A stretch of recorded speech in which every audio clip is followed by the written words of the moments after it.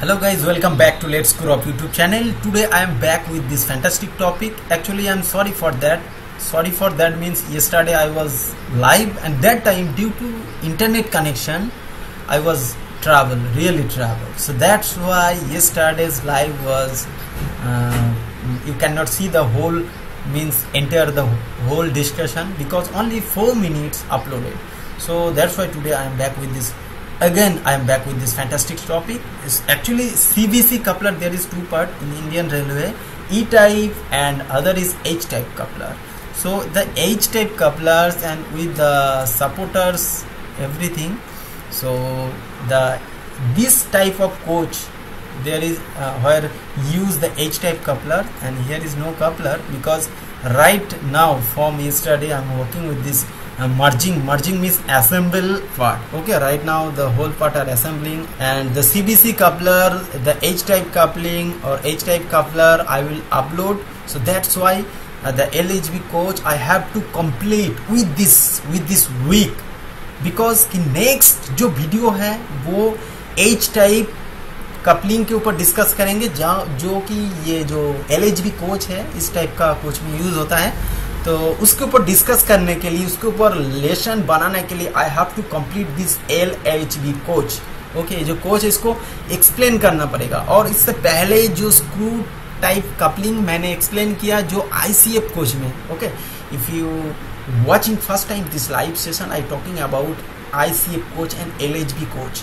so both coach use in Indian railway and you can check out let's grow up videos okay so you can see the let's grow up hindi this is hindi channel and please don't move don't go and if you have bike you know कि recent जो bike है तो जहाँ पे disc brake use होता है लेकिन पहले पहले क्या होता है drum brake so braking system है two type disc brake and drum brake so you can see so guys you can see the wheel set there is no braking brake shoe okay because की brake shoe का requirement नहीं है क्योंकि यहाँ पे disc brake already है so it is important to learn about the disc brake and also I will share the braking system related with brake shoe okay and you can see the suspension area where is uh, two type suspension primary suspension and secondary suspension so I will explain the uh, इसके ऊपर जो animation होता है जहाँ पे joint area होता है ना you know joint area different type of railway joint you don't know i am uh, trying to say uh, here is joint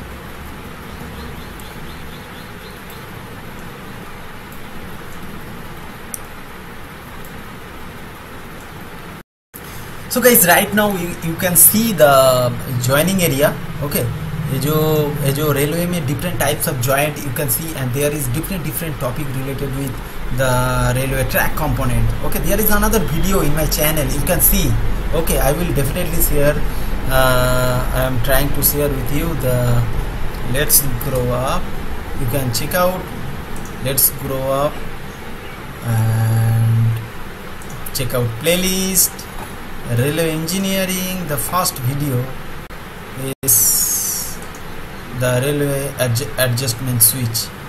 Okay so you can see the adjustment switch railway adjustment switch principle working principle you can you can check this video. Okay railway adjustment switch.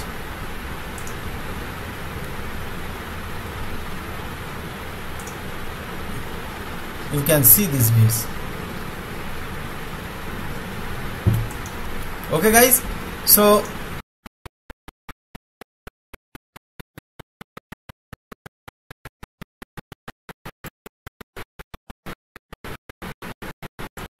working principle है। उसके ऊपर I will explain with animation not only just normal footage explain with animation ठीक है? तो उस type का video मैंने बना के अपलोड करेंगे चैनल में।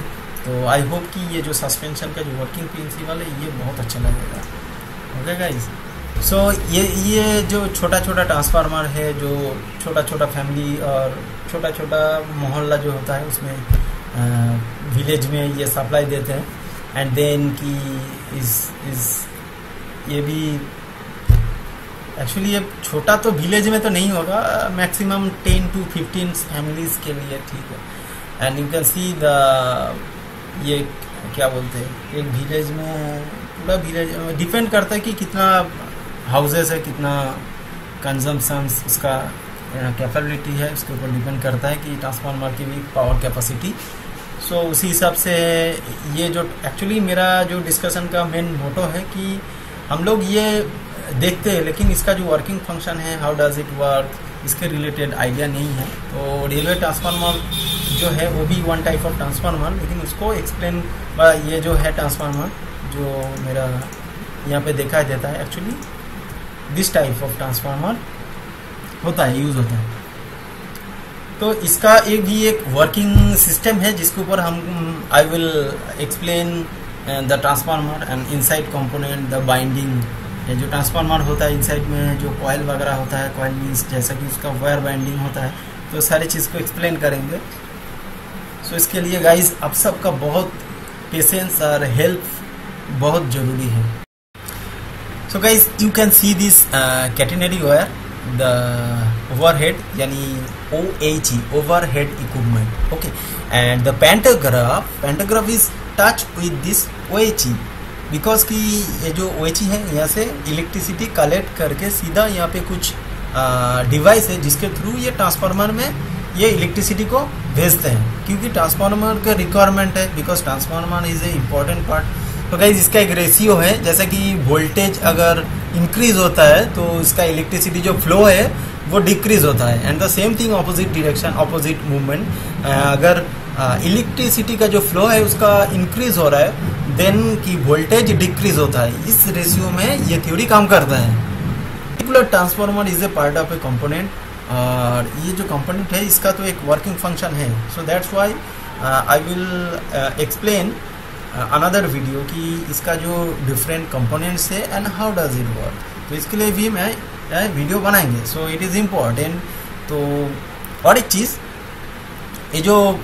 लोकोमोटिव है लोकोमोटिव का जो डिरेक्शन होता है जस्ट थिंक अबाउट कि अगर इस तरफ़ इस तरफ़ लोकोमोटिव का मूवमेंट होगा देन ये पीछे का पेंटो टच होता है। अगर राइट साइड मतलब टूअर्ड दिस वे जहाँ पे मैं माउस से क्लिक कर रहा हूँ मतलब पॉइंट कर रहा हूँ, अगर इस तरफ़ जाएगा तो पीछे का देन कि ये पीछे का पेंटो काम करता है। I hope this video will help you and upcoming topic related discussion. In this video, I am explain the all uh, upcoming video related uh, some inform information. Thank you so much for joining this live session and you watching Let's Grow Up. So I will see you another live session. Till then, watching Let's Grow Up YouTube channel. Thank you so much. Bye bye.